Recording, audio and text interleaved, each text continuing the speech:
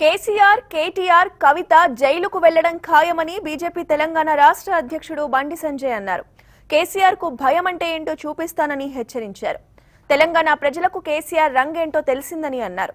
నిరుద్యోగులకు ఉద్యోగాలు ఇవ్వని కేసీఆర్ ఇంట్లో మాత్రం ఉద్యోగాలు భర్తీ చేశారని ధ్వజమెత్తారు. ప్రభుత్వం నిరుద్యోగ భృతి ఎందుకు ఇవ్వడం లేదని ప్రశ్నించారు. రాజన్న సిరిసిల్ల జిల్లా వట్టిమల్లలో మహేందర్ అనే యువకుడు ఆత్మహత్య చేసుకోగా అతడి కుటుంబ సభ్యుల్ని హైదరాబాద్లో యాక్సిడెంట్కు గురై కోలుకుంటున్న లక్ష్మణ్ను బండి సంజయ్ పరామర్శించారు. పోడు భూముల విషయంలో పేద హరిజన గిరిజన బీసీలు ఇతర బలహీన వర్గాల యొక్క పోడు భూముల సమస్య మీద భారతీయ జనతా పార్టీ నాయకుడు హరీష్ ఆయనతో పాటు సత్యనారాయణ గారు. హరీష్ దాదాపు పెద్ద ఆందోళన చేసి ప్రజలందరూ ఆందోళన చేస్తూ మద్దతు తెలిపింది. ప్రజాస్వామ్యబద్ధంగా ప్రశాంతమైన వాతావరణంలో దీక్ష చేస్తున్నాడు. దీక్ష చేస్తుంటే రాష్ట్ర ముఖ్యమంత్రి నుంచి వచ్చిన ఆదేశాల మేరకు పోలీసులు విచక్షణాయుతంగా దీక్ష శిబిరం దాడి చేసి పేద ప్రజల మీద కళ్ళల కారం కొట్టి ఇవాళ లాఠీ చార్జ్ చేశారు. హరీష్కు రిప్స్ ద- గాయాలైనాయి సత్యనారాయణ గారికి చేతి వేలో కాలువేలో ఫ్రాక్చర్ అయింది. ఇలా ఉద్యమాన్ని దీక్ష విరమించాడు.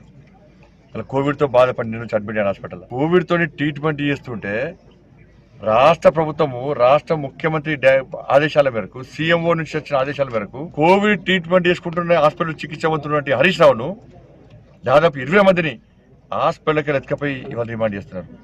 హత్యాయత్న కేసులు ఉన్న కేసులన్నీ నాన్ కేసులు అన్ని పెట్టింది వాళ్ళ హరీష్ రావుతో పాటు పేద పేదోళ్ళ మీద. సిగ్గుండాలే రాష్ట్ర ముఖ్యమంత్రి అక్కలు ఉండాలి రాష్ట్ర ముఖ్యమంత్రి పోడు భూముల సమస్య పరిష్కరిస్తాను నోరా తాటిమంటాను అనేది. పోడు భూముల సమస్యను వారం రోజులు పరిష్కరిస్తాను పట్టాలు ఇస్తాను ఎందుకు ఇస్తాలో పట్టాలు? కోట్లాది రూపాయలు విలువ భూములను దోచుకుంటాను ఇవాళ. వాళ్ళ మీద చర్యలు తీసుకోను. ఇవాళ ప్రజాసబద్ధంగా ఆందోళన చేస్తుంటే బీజేపీ నాయకులను కార్యకర్తలు మన గుర్రంపోటు విషయంలో ముప్పై ఎనిమిది రోజులు జైలు పెట్టిన ఇరవై మందిని.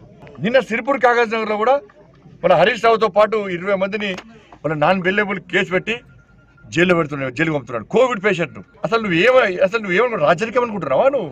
సామంతరాజు నేను నాకు ఏం కాదనుకుంటున్నావు? అన్ని చేస్తా.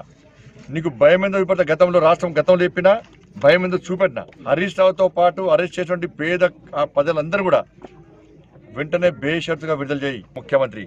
నువ్వు జైలు కోవాలని కోరుకుంటున్నావు. పోతావు నువ్వు నీ కొడుకు నీ బిడ్డ అందరూ పోతారు జైలు అన్ని రెడీ ఉన్నాయి.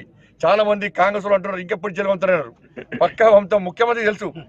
ముఖ్యమంత్రికి జైలు పోతా నేను పోతా నా కుటుంబం పోతా తెలుసు. జైలు పోయి మా వాళ్ళు నీకోసం రూమ్ రెడీ చేస్తున్నారు.